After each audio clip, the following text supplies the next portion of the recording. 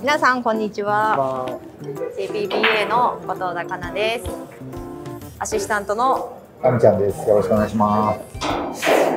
やっぱ自分で言わない方がいいね私がアシスタントのなみちゃんですって言ったじゃん。言った方がいいねはい。うんスじゃあ次回からよろしくお願いします。次回からそうします、はい。今日は前回に引き続き、マナーについてお話ししていこうと思います、このマナーについては後藤田香奈が思うマナーについてのお話なのでクレームは受け付けません。はい。独断と偏見ですね。偏見っていうとちょっと微妙な感じしませんか？はい回もルーレットでお題を決めていこうと思います、い。はい。はい。じゃあ行きます。同じの出たら同じの出ることもあるんですか、はい。同じの出たらまあじゃあ次回しまはいしょう、。ああ大丈夫です。うわはい。えー、うわ発表します。えー、スマホ。スマホです。ー誰かと対戦していて待ってる時にスマホをあるある。いじっているのは私はありえないと思ってます。まあ多いけどね。多いですか、多い多い。それは対戦してる最中にずっといじってるんですか、うん。多いよ。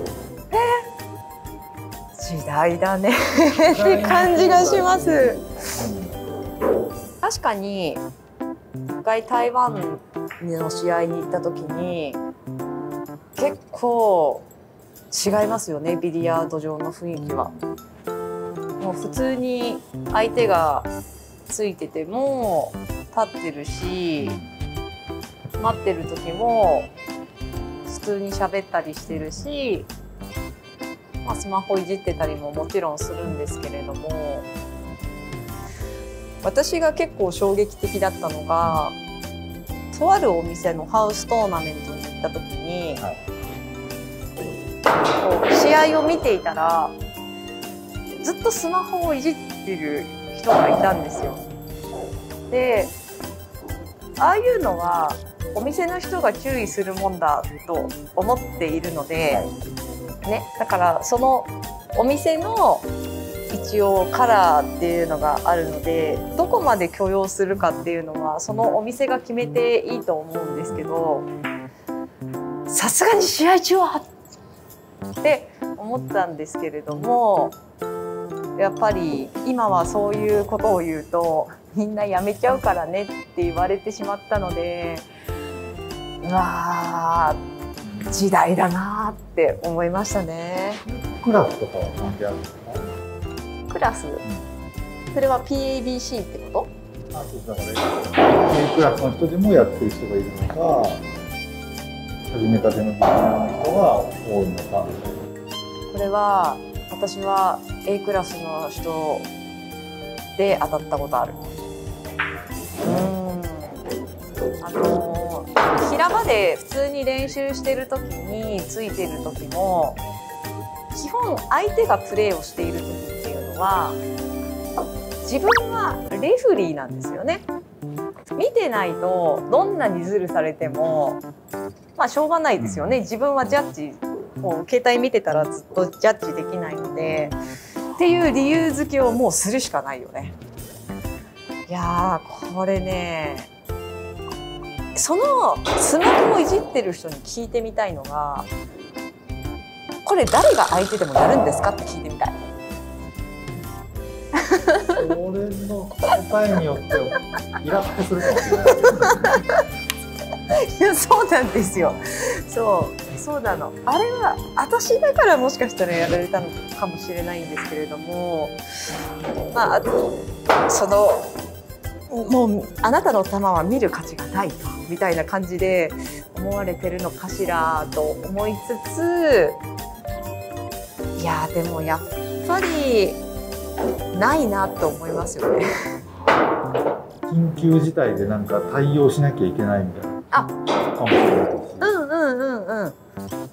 例えば誰かと「着きます一緒に着きます」ってなった時に「あのすいません仕事のメールが入るかもしれないので」とか何か一言言ってくれれば全然問題ないと思うんですけれどもまあなんかずっといじってて相手のプレー見てなくってで交代する時に「え今のファールですか?」とか聞かれるとちゃんと見といてって思っちゃう。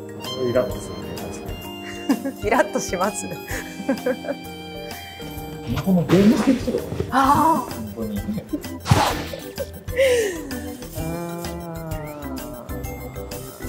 もう一人練習で良くないって思っちゃいますよね。あれなんでなんですかね。あれはこうつあ相づきしてて楽しいんですかね。ねえ今度ゲストで常にスマホをいじっている人に聞いてみようかなってちょっと思っちゃうんですよね。うわーそしてこれはあのそうやって言われたことがない人ももちろんいると思うんですよね。まあもちろん昔はそんなに携帯電話で何かするとかいうことはなかったんですけれども、まあ今こんな感じになっちゃってるので、いやーでもないな。やっぱダメだなビリヤードをしてる時だけじゃなくって基本的に私自身がこうみんなで何かをしてる時にあご飯食べたりするとかそうですそういう時にずっとスマホをいじられたりとかすると別に一緒にいなくてもよくないって思っちゃう方だからやっぱり一緒についてるんだったらこういなんかい一緒のことをしてるっていう感じにはなりたいなと思います。親戚のおばさんがよく言ってたなねおばちゃん。そうそうおばちゃんが言ってたいやそうですそうです。あなんかすごい今辛い。すごい辛いです。このスマホの話で昔 SA クラスで今プロになってる方がいるんですけれどもこれえじゃあ XX プロとします。よはい。でその X プロがアマチュアの時にハウストーナメントに行ったんですよね。そこのお店の店長さんに当たったのかな、で店長さんがちょっと仕事の関係でどうしてもこうスマホをいじんなきゃいけないところがあったらしくてそしたら試合何ラックか終わった時にその X プロがその人に向かって「もう勝ちでいいですか?」って言ったらしい。へ私も言ってみたい そんなの。そんな。言いたい もうもう私もうわそのそんなこと言えるのめちゃくちゃいいなと思いましたね。もう私が言ったらねそんなそんなわけないだろうってもう必修されちゃうけれどもいやそのぐらいのねやっぱ実力をね兼ね備えてるとねそのぐそのぐらい言えるんだよ。そのぐらいにならないとダメだよね。行ってみたくない？もう勝ちでいいですか？行ってみたい。そういうわけでスマホはいじっちゃダメ。私は絶対いじっちゃダメだと思う私もレッスンの時にやられたらもう勝ちでいいですかって言います。はい。